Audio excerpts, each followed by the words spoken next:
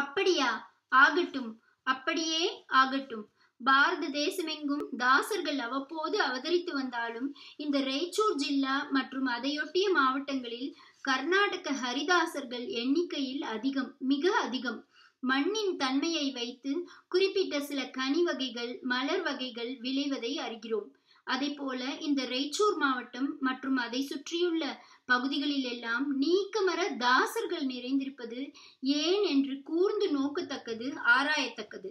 அப்படி ஆராய்ந்து பார்த்தால் ஸ்ரீ ஸ்ரீ ராகவேந்திர சுவாமிகள் பிருந்தாவன பிரவேசம் செய்த பின்னர் மந்திராலயத்தை சுற்றிலும் ஏகப்பட்ட தாசர்கள் தோன்றியதை அறியலாம்.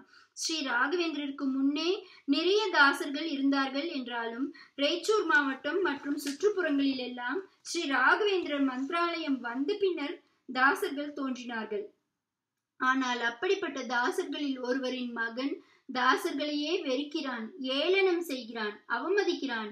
அதனால் ஏற்படும் நிகழ்வுகளை ஈண்டு காண்போம். ரேச்சூர் மாவட்டத்தில் பியாகவாட் அல்லது பியாகவட்டி என்னும் கிராமம். அந்த கிராமத்தில் நரசிம்மாச்சாரியார் என்னும் அந்தனசீலர் லக்ஷ்மக்கா எனும் இல்லாளுடன் இனிதே இல்லறம் நடத்தி வந்தார். அவர்களுக்கு ஸ்ரீனிவாசன் என்றொரு மகன். நரசிம்மாச்சாரியருக்கு சாஸ்திர ஞானமும் சங்கீத ஞானமும் நிரம்பி இருந்தது. புரந்தரதாசரே நரசிம்மாச்சாரியரின் கனவில் நரசிம்ம விட்டல என்னும் அங்கிதத்தை தந்திடும் அளவிற்கு அனுகிரகம் பெற்றவர். கன்னடத்திலும் சம்ஸ்கிருதத்திலும் புலமை பெற்றவர். ஆனால் பாருங்கள் இவரது மகன் ஸ்ரீனிவாசனுக்கு சம்ஸ்கிருதத்தில் ஈடுபாடும் ஞானமும் மிதமிஞ்சிய நிலையில் இருந்ததென்றாலும் மாத்ரு பாஷையான கன்னடத்தை விட சம்ஸ்கிருத அறிவே அதிகமாக இருந்தது. ஆர்வமும் அதில்தான் இருந்தது. சம்ஸ்கிருதத்தின் மீது இருந்த பற்றுதலால் பாசத்தால் இன்னும் சொல்ல போனால் மோகத்தால் கன்னடத்தின் மீது லேசான சலிப்பு கூட ஸ்ரீனிவாசனுக்கு ஏற்பட்டது. மந்திராலய ஸ்ரீமடத்து ஸ்ரீ வரதேந்திர தீர்த்தரை பற்றி பார்த்தோம் அல்லவா? அந்த ஸ்ரீ வரதேந்திர தீர்த்தரின் மீது ஸ்ரீ வரதேந்திர பஞ்சகம் என்னும் சம்ஸ்கிருத ஸ்லோகங்களை ஸ்ரீனிவாசன் இயற்றினான் என்பதும் அது எல்லோராலும் புகழ்ந்து பாராட்டு பெற்றது என்பதும் ஸ்ரீ சுவாமிகளின் அனுகிரகத்தை பெற்றது என்பதும் பெரிய விஷயமில்லை. ஆனால் அப்போது ஸ்ரீனிவாசனுக்கு அகவை வெறும் எட்டே எட்டுதான் என்றால் ஸ்ரீனிவாசனின் சம்ஸ்கிருத ஞானத்தை தெரிந்து கொள்ள முடிகிறதல்லவா? இந்த சம்பவத்தை நன்றாக நினைவில் வையுங்கள். இது குறித்து இன்னொரு அத்தியாயத்தில் ஒரு வாதத்தை முன்வைக்கப் போகிறோம். ஸ்ரீனிவாசனின் புலமையைக் கண்டு ஸ்ரீ வரதேந்திர தீர்த்தரே அவனுக்கு பாடங்கள் சொல்லி தந்தார். பதினேழு வயதிலேயே ஸ்ரீனிவாசன் மிகச்சிறந்த சுதா பண்டிதராக விளங்கினார். அதனால் ஸ்ரீனிவாசாச்சாரியார் என்றால் எல்லோருக்கும் தெரிந்த பெயராக இருந்தது. இருக்க வேண்டியதெல்லாம் ஸ்ரீனிவாசாச்சாரியரிடம் இருந்தாலும் கூட இருக்கக்கூடாததும் அவரிடம் இருந்தது. அதாவது தான் என்கின்ற மமதையும் அவரிடம் இருந்தது. வித்யா கர்வம் இருக்கலாம் தவறில்லை. ஆனால் அது அளவோடு இருக்க வேண்டும். பிறரை சிந்திக்க வைக்கும் வண்ணம் நடந்து கொள்ளலாமே தவிர மற்றவர் நம்மை நிந்திக்கும் வண்ணம் நடந்து கொள்ளலாமோ? அது தவறுதானே? தவறுதானே என்றால் அந்த தவறுக்கும் ஒரு காரணம் இருந்தது. ஸ்ரீனிவாசாச்சார் தொடர்ந்து அந்த தவறினையே செய்து வந்தார். சம்ஸ்கிருதம் பெரிது சாஸ்திர ஞானமே பெரிது என்று மட்டும் இருந்தால் பரவாயில்லை. கன்னடமும் கன்னடத்தில் கீர்த்தனைகள் யாப்பவர்களும் அவருக்கு மிகவும் கேவலமாக இருந்தனர். தாசர்கள் வீடு வீடாக உஞ்சவிருத்தி எடுத்து அந்த அரிசியை அந்த பொருட்களை கொண்டு சமைத்து உண்டு கொண்டு உழைக்காமல் சுற்றித் திரிகிறார்கள் என்பது ஸ்ரீனிவாசாச்சாரின் எண்ணம். இத்தனைக்கும் அவரது தந்தை நரசிம்மரே ஒரு தாசர்தான். அப்பா நீங்கள் கீர்த்தனை எழுதுவதோடு நிறுத்துங்கள்.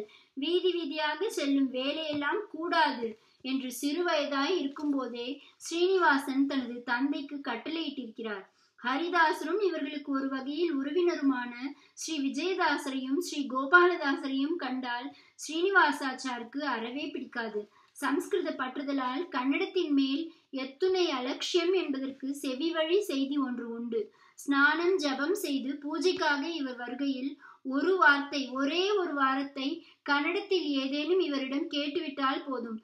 தீட்டுப்பட்டதை போல் மீண்டும் சென்று ஸ்நானம் செய்து வருவாராம். இதற்கு ஆதாரம் ஏதும் இல்லை என்றாலும் கூட ஸ்ரீனிவாசாச்சாரின் கன்னட இரண்டாம் பட்ச கொள்கையை இதன் மூலம் நாம் அறிந்து கொள்ள இயலும். இப்படி இருக்கையில் சீக்கல பறவையிலிருந்து ஸ்ரீ விஜயதாசர் ஸ்ரீனிவாசாச்சாரின் ஊரான மாண்விக்கு வந்திருந்தார். சீக்கள் பரவி மாண்வி எல்லாம் பதினைந்து கிலோமீட்டர் தூரத்தில் உள்ளவைதான். மாண்வியிலிருந்து சீக்கல் பரவி செல்லும் பாதையில் சுமார் மூன்று கிலோமீட்டர் தூரத்தில் சஞ்சீவிராயன் ஆலயம் சாலையை ஒட்டி அமைந்துள்ளது.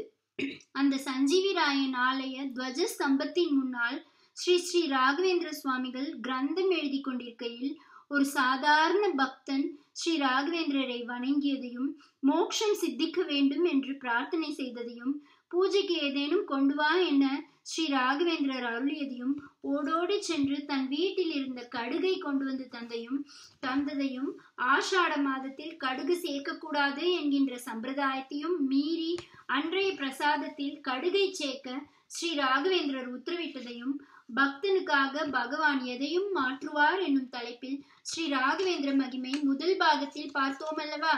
அந்த சஞ்சீவிராயன் ஆலயத்திற்கு அருகே இருந்த மான்வி கிராமத்தில் ஸ்ரீ விஜயதாசர் உஞ்சவிருத்தி எடுக்கையில் பிராமணோத்தமர்களை மகா பண்டிதர்களை எல்லாம் தீர்த்த பிரசாதத்திற்கு அழைப்பு விடுத்த வண்ணம் இருந்தார்.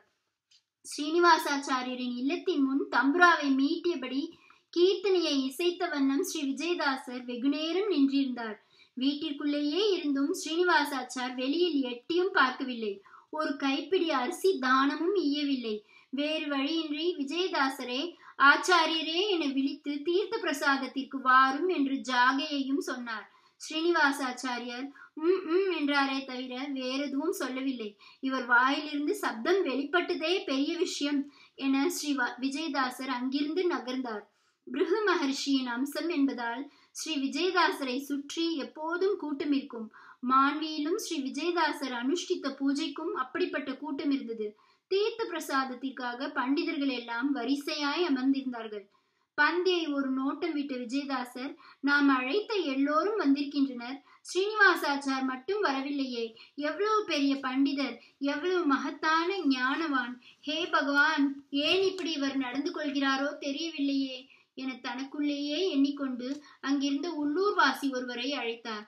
ஸ்ரீனிவாசாச்சாரை மீண்டும் ஒருமுறை சென்று யாம் அழைத்ததாக அழைத்து வாரும் என்றார். அவன் சென்றதும் ஸ்ரீனிவாசாச்சாரின் பாண்டித்யத்திற்காக நாம் சற்று பொறுப்பதில் தவறில்லை இல்லையா? என்றதும் அனைவரும் மௌனமாய் தலையசைத்து சம்மதித்தனர். ஸ்ரீனிவாசாச்சார் கட்டிலில் படுத்திருந்தார்.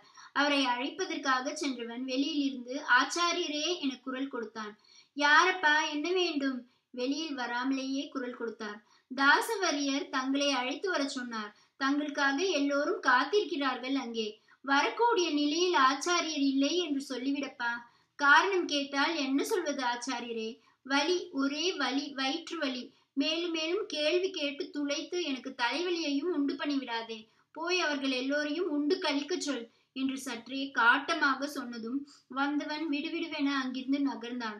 போஜனம் நம்மால் மேலும் தாமதமாகிவிடக்கூடாதே என ஓட்டமும் நடையுமாய் விஜயதாசரின் முன் சென்று நமஸ்கரித்து நின்றான். என்ன என்பதை போல் எதிர் நின்றவனிடம் சைகையால் கேட்டதும் அவர் வரவில்லையாம் கடுமையான வயிற்று வலியாம் என்று சொல்லி முடிக்கும் முன்னரே அப்படியா? ஆகட்டும் ஆகட்டும் என்று விஜயதாசர் சொன்னதும் தீர்த்தம் நெய் அபிகாரம் முடிந்து கோவிந்தா சொன்னதும் அனைவரும் உணவருந்த ஆரம்பித்தனர். ஆகட்டும் ஆகட்டும் என்று ஸ்ரீ விஜயதாசர் சொன்னது போஜன ஆரம்பம் ஆகட்டும் என்பதற்குத்தான் ஆனால் பாருங்கள் அப்படியா ஆகட்டும் என்பது அப்படியே ஆகட்டும் என்று சொன்னதைப் போல் ஆகி ஸ்ரீனிவாசாச்சாரியருக்கு அப்படியே ஆயிற்று. ஏன் அப்படி ஆயிற்று? அது இன்னொருவரால் ஆயிற்று. விஜயதாசர் ஸ்ரீனிவாசாச்சார் செய்த அவமரியாதையை வேண்டுமென்றே வயிற்று வலி என்று சொல்லி வராமல் இருந்ததை சாதாரணமாக எடுத்துக்கொண்டார். ஆனால் வேறூரில் இருந்த அவரின் சிஷ்யர் ஒருவர் கோபம் கொண்டு அப்படியே ஆகட்டும் என சொன்னதும் ஸ்ரீனிவாசாச்சாருக்கு வயிற்று வலி துவங்கியது. அதாவது சாக்கு போக்கிற்காக வர முடியாது என்பதற்காக வயிற்று வலி என்று சொன்னதற்கு அப்படியே ஆகட்டும் என்று வெளியூரில் இருந்து ஒருவர் சொன்ன அந்த க்ஷணமே நிஜமான வயிற்று வலி ஸ்ரீனிவாசாச்சாரை தாக்க ஆரம்பித்தது என்றால் அதிலே ஒரு ஐயம் எழுகிறதல்லவா? விஜயதாசர் சொல்லி பலித்திருந்தால் பரவாயில்லை. ஓரிரு நாட்கள் கழித்து நிஜமான வயிற்று வலி வந்திருந்தாலும் பரவாயில்லை. அதே க்ஷணமே என்றால் நம்பும்படி இல்லையே என்றால் சொன்னவர் அப்படிப்பட்டவர். அவர் யார் என்பதை அறியும் போது இதற்கான விளக்கம் கிடைக்கும். இங்கே வயிற்றிலே போஜனம் விழ ஆரம்பித்தது. அங்கே வயிற்றில் வலி ஆசனம் போட்டு ஸ்ரீனிவாசாச்சாரியரை அழவைக்க ஆரம்பித்தது. கட்டிலை விட்டு எழுந்தார். மீண்டும் படுத்தார். கால்களை குறுக்கி கொண்டு படுத்து பார்த்தார். வயிற்றை கைகளால் பிசைந்து கொடுத்தார். ஆனாலும் வலி அசைந்து கொடுக்கவில்லை. போய் ஒரே ஒரு பொய் ஸ்ரீனிவாசாச்சாரை இப்படி வாட்டி வதைக்கிறதே இது நியாயமா? அவருக்கு பிடிக்கவில்லை ஆனால் செல்லவில்லை. செல்வதற்கு மனமின்றி இருப்போரை வழியே சென்று அழைத்து அவர் வனாம் வராமல் போனதற்கு இப்படி ஒரு தண்டனையா? இது எந்த விதத்தில் நியாயம்? ஒவ்வொருவருக்கும் ஒவ்வொரு சுவை இருக்கும். இப்படித்தான் இருக்க வேண்டும் என்று இன்னொருவரை நிர்பந்திக்க கட்டாயப்படுத்த யார் உரிமை கொடுத்தது? ஸ்ரீனிவாசாச்சாரி அப்படி என்ன தவறு செய்துவிட்டார் தாசர்களை அவர்களுக்கு பிடிக்கவில்லை. பகவான் நாமாவை சொல்லிக்கொண்டு ஊர் ஊராக சுற்றி கொண்டு உழைக்காமல் உண்கிறார்களே என்பதனால் அவருக்கு பிடிக்கவில்லை. இதற்கு அவருக்கு உரிமை இல்லையா? இவ்வாறு நினைப்பதற்கு அவருக்கு தகுதி இல்லையா? ஏதோ வயிற்று வலி வந்தது. சில மணி நேரங்களில் போயிற்று என்றா ஆயிற்று. அப்படி ஆகியிருந்தால் எந்த பிரச்சனையும் இல்லையே. அன்று மட்டுமல்லாது அடுத்த நாளும் தொடர்ந்தது. இரவுது பகலது என்று தெரியாமல் போகும் அளவிற்கு இடைவெளியின்றி வழி வாட்டி எடுத்தது. கற்ற சாஸ்திரம் கசந்தது. உற்ற உறவும் கசந்தது. மற்றவருடன் கொண்ட நடவடிக்கைகளும் கசந்தது. பாட பிரவச்சனம் நின்றது. வழக்கமான பணிகள் நின்றன. ஐயோ இப்படி ஆகிவிட்டதே. இப்படி ஆகிவிட்டோமே என்கின்ற எண்ணமே நிலைத்து நின்றது. என்னென்ன வைத்திய முறைகள் உண்டோ அவை அத்தனையையும் செய்து பார்த்தாயிற்று. பலன் என்னவோ பூஜ்யமாகவே இருந்தது. ஸ்ரீனிவாசாச்சாரின் ராஜ்யம் எப்படிப்பட்டதாய் இருந்தது?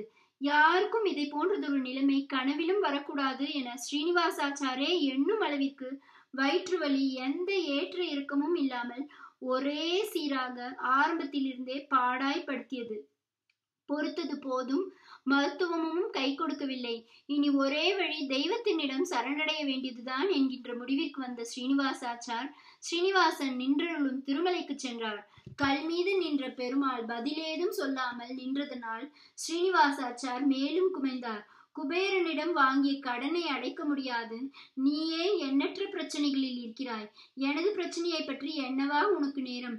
உன் வ உண்டியில் விழும் பணத்தை எண்ணவே உனக்கு நேரம் போதுவதில்லை என்று எண்ணியவாறு திருமலையின் இன்றும் கடிகாச்சலத்திற்கு வந்து சேர்ந்தார். பிரகலாதனின் வாக்கிற்காக உடனே வெளிவந்தவன் அல்லவா நீர்? நான் படும் அவஸ்தை அறியாயோ நீ? ஹிரண்யனை சம்ஹரிக்க நேரம் காலமெல்லாம் பார்த்தாய் நீ. அதற்காக அந்த காலத்திற்காக காத்திருந்தாய் நீ. இப்போது எதையும் பார்க்காது. என் நிலையை பார்த்து உடனே வாரும் பிரபோ என்று மன்றாடியும் சோளிங்கர் நரசிம்மர் அப்படியே இருந்தார். உடனே சின்ன மலைக்கு ஓடினார். அப்பா மாருதி அன்று சஞ்சீவி மலையை எடுத்து வந்து எத்தனை பேரை காத்தாய் நீ? இன்று இந்த மலையில் உள்ள ஏதேனும் ஒரு மூலிகையை எனக்கு காட்டிக் கொடேன். என்னால் வழி பொறுக்க முடியவில்லை. ஆஞ்சநேய மகாபிரபோ என்று ஸ்ரீ யோக ஆஞ்சநேயரையும் வேண்டினார். அவரும் வாளாவிருந்ததனால் அடுத்ததாக அவர் ஓடி வந்த இடம் மந்திராலயம். ஸ்ரீ ஸ்ரீ ராகவேந்திர சுவாமிகள் ஜீவனுடன் அருள் பாலிக்கும் மந்திராலயம்.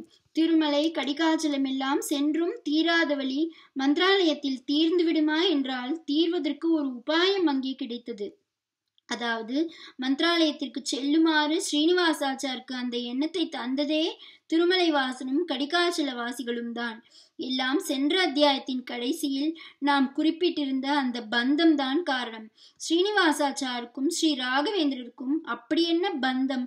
அது ஒரு தொடர் பந்தம். தொடருங்கள் புரியும்.